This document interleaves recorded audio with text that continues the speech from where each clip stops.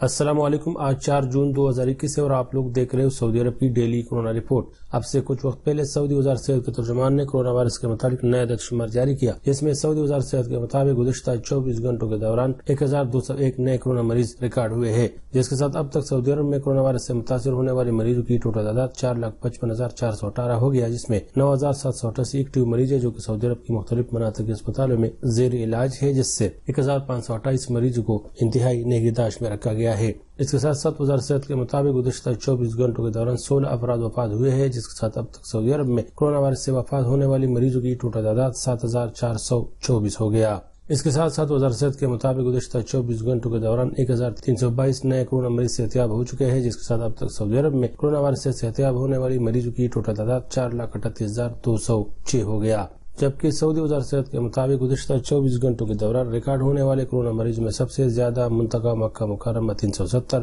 منتقا ریاض دو سو چورانوے، منتقا شرقیہ ایک سو ستاسٹھ، منتقا مدینہ منور بہن میں منتقا سیر چھتر منتقا جیزان اکاسٹھ، منتقا قسیم پچاس، منتقا تبوک چھبیس، منتقا نجران اکیس، منتقا حائل انیس، منتقا باہا پندرہ، منتقا حدود شماری آٹھ اور منتقا جوب دو۔